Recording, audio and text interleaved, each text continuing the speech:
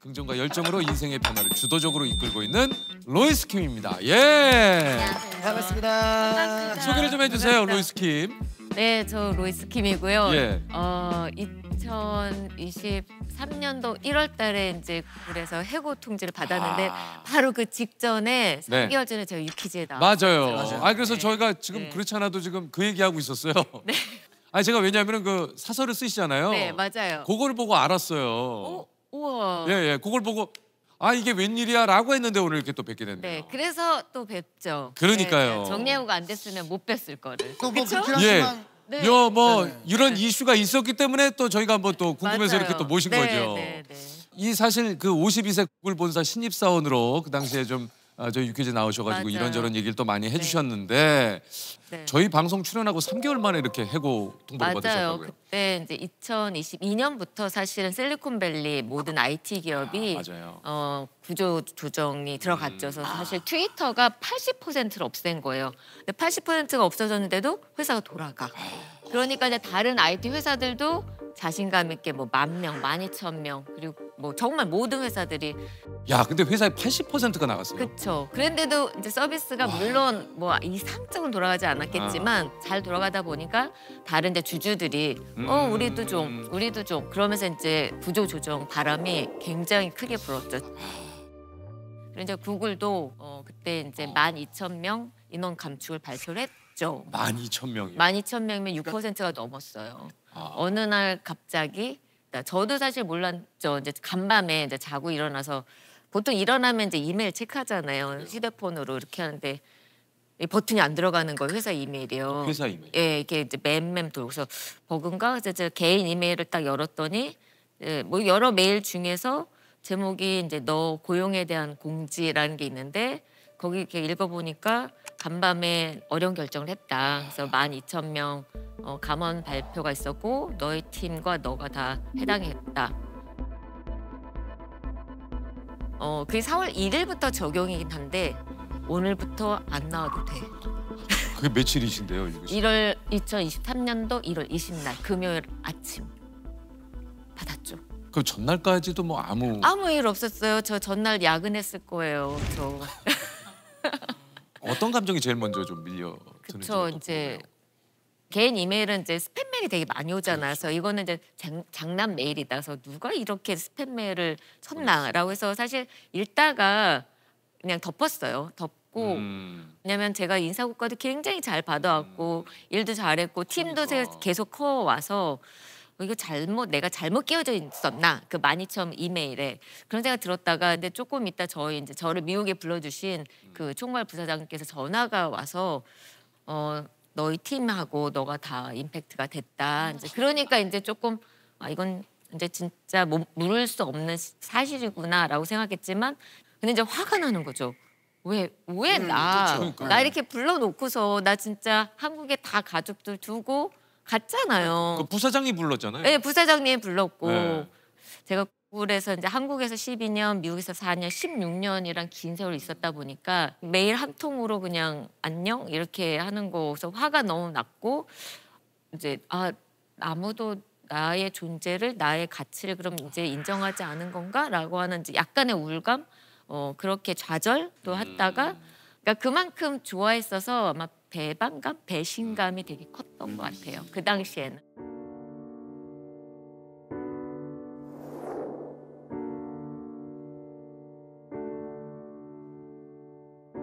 그러니까 막상 회사를 간다 하더라도 할 일이 없으신 거죠? 들어갈 수가 없어요. 아. 저희 모든 배지가 어, 어, 다 이렇게, 어? 이렇게 스캔하면은 되는데 그거 다 안 되지. 뭐. 4월 1일 날이잖아요.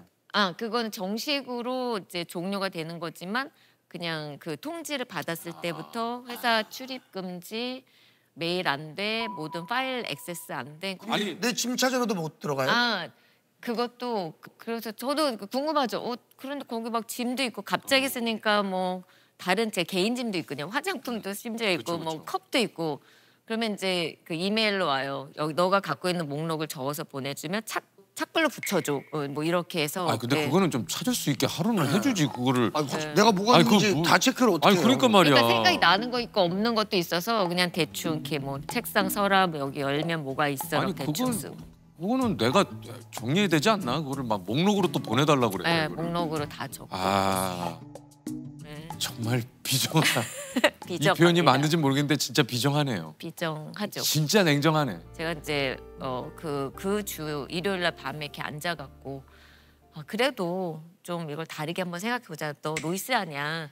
어, 그 유키제도 나가고 너 항상 긍정적으로 새롭게 살려고 했던 로이스 아니야. 그러면 한번 너가 이 기회를 적극적으로 한번 활용해봐라고 이제 생각이 들었어요. 그래서 이제 책, 책상 그 컴퓨터 앞에 앉아갖고 내가 하고 싶은 거 평소에 못했던 걸 한번 적기 시작했습니다. 근데 금세 차더라고요. 뭐 마트에서 일하기, 바텐더 되기, 스타벅스 바리스타 되기, pet sitter 해서 애완동물 기르기, 뭐 어, 운전사 되기. 아니 근데 무엇보다 보통 그런 일이 있을 때는 그래 이 마침 이렇게 된 거. 아 나는 여행을 그동안 못 갔어. 여행을 간다든가. 뭐 예를 들면 난 패러글라이딩을 한번 네, 해보고 싶어. 네. 근데 그런 거보다도 어떤 내가 하고 싶었던 일을 네. 적으셨어요. 근데 아마도 아마 그런 경험이 만약에 너무나 바쁘게 15분마다 쪼개 살던 사람이 칼렌더가 빈 거예요. 이메일 인박스가 저 안 읽은 이메일이 2만 개가 됐었거든요. 그 그렇게 살았던 사람이 이메일 들어가서 읽을 이메일이 없는 거예요. 그래서 아 내 자신을 오히려 바쁘게 몰아붙여야지만 이 어려운 기회, 어려운 시간을 잘 넘길 것 같다. 그래서 아. 저를 조금은 더 몰아붙였던 것 같아요. 바쁘게 지금 이 리스트에 있는 거를 하나하나 빨리빨리 해보자. 그 다음 날이 월요일인데 저는 월요일 날 일요일 밤은 항상 즐거웠어요. 저 회사 가는 거 좋아했잖아요. 그래서 회사 가는 거 좋은데 갈 회사가 없는 거예요. 내가 다음 날. 그러니까 월요일 맞는 게 너무 두려운 거죠. 그래서 그래 나를 필요로 하는 데를 빨리 찾아가자. 그리고 바쁘게 살아서 이렇게 허튼 생각을 하지 말도록 하자. 그래서 이제 바로 원서를 냈거든요.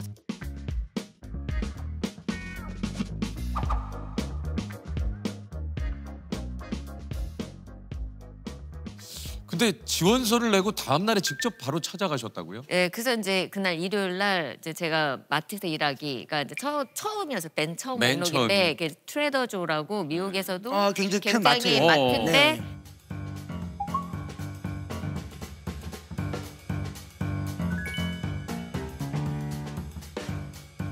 밤에 이제 이 지원서를 냈는데 지원서를 내면서 안 뽑을 것 같은 거예요.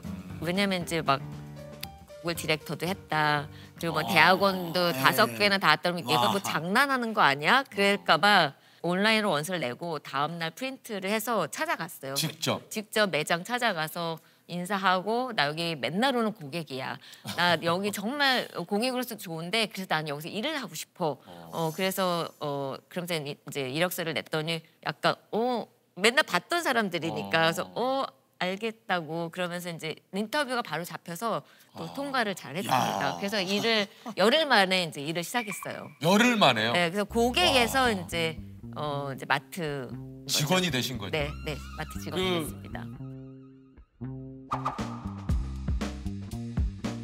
마트 일이라는 거를 이제 처음 해보셨을 텐데 마트 일을 예. 어떠셨습니까? 첫 출근. 마트 일이 첫 출근 날은 이제 옷을 유니폼을 입고 이제 명찰을 달고 어 그 가게 매장 문이 이렇게 옆으로 문을 여는 건데 못 들어가겠는 거예요. 왜냐면 그 전까지만 기세가 너무 당당했어요. 그래 나 멋져. 그래 로이스라면 이런 거 할 수 있어. 그리고 딱 했는데 제가 맨날 뭐 펜대만 잡고 컴퓨터만 했지 무거운 걸 날라본 적이 없는데 그날 문을 열고 들어가는데 뭐 이제 카트가 있거든요. 이제 이렇게 플랫 카트라고 하는데 거기 이제 물품을 이렇게 산적해 놓고 제품을 가는데 딸기를 정말 제 키의 반까지 이렇게 크게 높이 세는데 끌고 가는데 중심을 제가 잃어버린 어우, 거예요. 아우 그리고 정말 이거 확 쏟았어요. 근데 그게 그날 들어온 딸기 다였어요. 그래서 전 정말 첫날 그래서 어? 어, 그래서 정말 저, 저 속으로 이걸 어떡하지? 내 월급에 시급에서 까야 되나? 시급 이거 몇, 내가 몇, 며칠을 모아야지 이거 되나? 뭐 이런 생각도 있었는데 막 매니저랑 친, 그 동료들 와서 괜찮냐고 먼저 묻고 괜찮아 이제 그런 다음에 근데 어떻게 나 딸기 다 이거 어떡하냐 했더니 그 친구가 딸기 내일 또 들어와 그러는 거에서 어, 뭐야? 어 그래서 어 그래 그럼 고객들 오늘 왔다가 허탕 치자 했더니 고객들 내일 또 와 와. 걱정하지 말라고 그래서 저는 그 마음이 너무 좋았고 그러면서 또 돌아가면서 어 난 첫날 올리브유를 깼어. 나 야 기름 깨는 게 얼마나 힘든지 알아? 너는 주스면 되지. 그러면서 자기는 와인병 깼다. 나는 뭐 소스병 깼다. 이런 얘기를 돌아가면서 해주는 거예요. 그러니까 야, 그 보통 너무 너무 어. 좋았어요. 예. 그 마트에서는 얼마나 일을 하셨어요? 마트는 1월 30날부터 일을 해서 지금까지 일을 하고 있으니까. 아 지금 어, 계속 어, 하고 네, 계세요? 제가 이제 처음에 실수했지만 또 제가 이제 운동을 해서 그런지 몰라도 제 팔도 일을 잘하는 거예요. 아. 그래갖고 6개월 만에 섹션 리드가 됐고 어 지금 네. 그리고 또그이 어떤 한 그 파트에 파트를 지금 맡는 거죠. 어허. 됐고 또 6개월도 안 돼서 매니저가 됐습니다. 지금 매니저예요. 왜? 매장 매니저. 어 지금 매장 매니저라고 네, 계세요? 네, 매장 매니저입니다. 야 이거 그래서 진급이 빠르신 거 아니에요? 네, 조금 빠르게 됐습니다. 아니 어떻게 이렇게 진급을 빨리 하셨어요? 어 그냥 열심히 하고 남이 하고 싶지 않은 궂은 일 이런 걸 다 찾아서 하고 그다음에 이제 저 왜 그때 꿀에서도 사람 들어가자마자 사람 만난다고 왜 100명 만나기 프로젝트 네, 했다 그랬잖아요. 맞아요. 그럼 어떻게 하면 내가 나를 잘 각인시킬 수 있지? 90일 동안 100명을 만나자라는 이제 프로젝트를 했어요.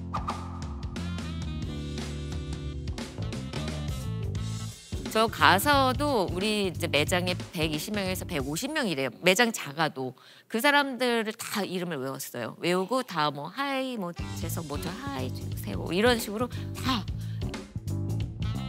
이름을 불러주니까 너무 좋아하는 거예요. 예. 어, 그래서 로이스 너무 난 쟤랑 일하기 너무 좋아. 그래서 야. 이게 사실 그런 피드백도 되게 중요하거든요. 예. 그러니까 이 진짜 성실함은 예. 어딜 가도 빛이 나요. 그러니까 이게 시간이 변해도 이 성실함과 아, 이거는 진짜 와 대단하시네요. 아니 정말. 근데 그러면은 이게 네. 마트에서 지금까지 지금 또 일을 하고 계시고 네. 바리스타하고 이건 언제 네. 하신 거예요? 다 동시에 했어요. 그러니까 마트에서 일을 하고 한 달 지나다 보니까 아 자신 있네. 그래서 이제 운전사를 apply를 했고 네. 근데 스타벅스도 아, 바리스타도 하고 싶어서 또 바리스타도 이제 apply를 했고 마트도 다니고 운전도 하고 동시에 하고 아 이거 다 하신 거예요? 다 동시에. 하루에 어떻게 그걸 이걸 어떻게 하루에 하세요? 그래서 이제 그 아주 제가 이제 일요일 날이 죽음의 일요일인데 아침에 3시 반에 이제 가야 돼요. 매니저기 때문에 직원들은 4시에 나오는데 저는 1시간 일찍 가서 어우, 새벽 새벽이요? 새벽 3시에 가서 다 준비를 해놓으면 이제 직원들이 이렇게 오기 시작하고 야, 중간에 1시간 점심 시간이거든요. 그래서 점심 시간 때 나- 나가서 운전하고 와요.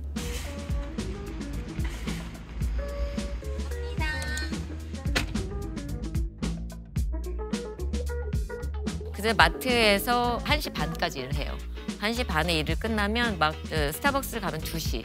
그래서 2시부터 거기 문 닫고 근데 8시 끝나면 이제 또 그 뒤 부터는 제가 또 애완동물 봐주는 게 출장이거든요.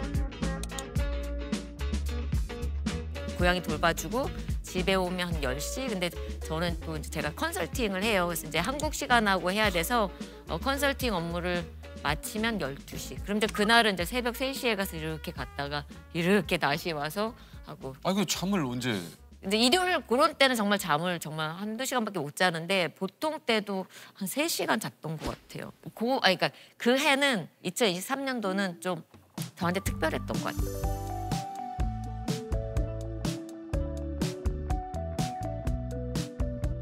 이게 이제 어, 그 중에도 뭐가 좀 제일 어려우셨어요?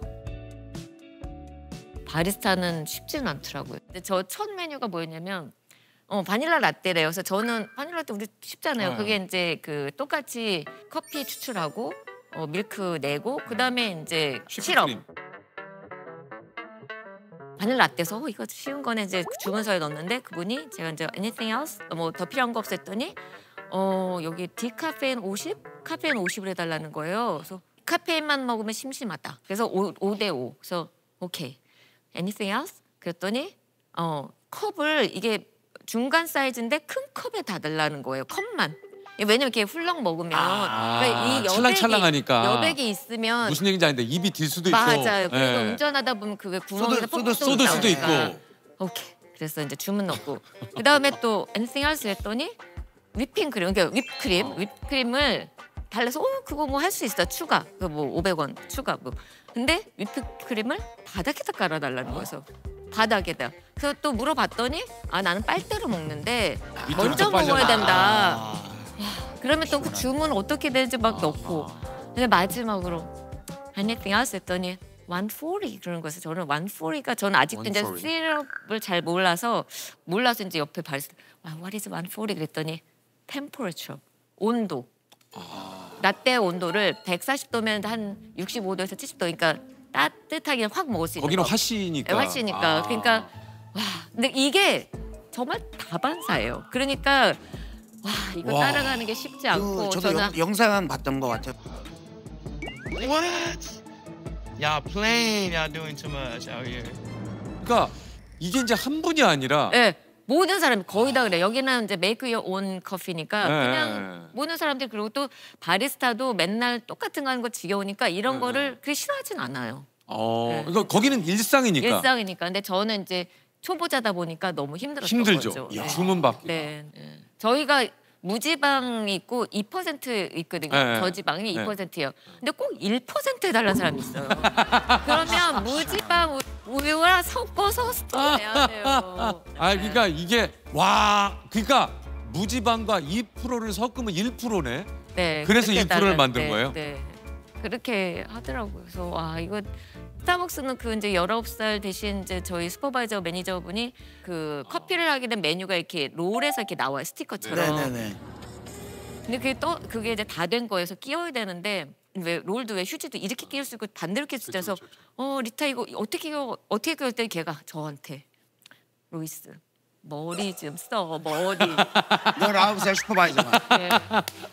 저한테 머리 저 손이 이러면서 Thinking. 어 think Think. think 그러는데 정말 저도 교육 다 받을 거 다 받고 대학원 다섯 개 나오고 디렉터 했다고 그 말이 여기까지 왔지만 아 그래 알았어. 생각 근데 생각하니까 이게 있어요. 그 다음부터는 그래 묻기 전에 생각하자. 그래서 아 그분도 유능한 슈퍼바이저다라는 생각이 들어요. 그러니까 19살의 슈퍼바이저 되려면 그분도 거기에서 16살, 7살 때 시작을 했어요. 고등학교 때. 야 그분도 대단하네. 네. 아, 로이스께서 뭐 이런 얘기 드려서 어떨지 모르겠습니다만 나이도 이제 저희보단 누나시고 이게 사실 새로운 도전을 한다라는 거에 좀 망설여질 때가 되게 많아요. 그렇죠.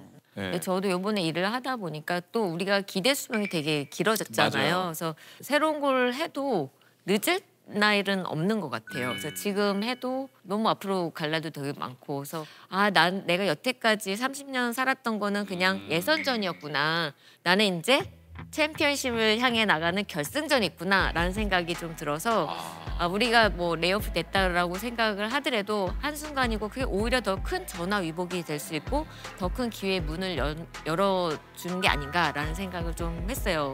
그러니까 아. 네.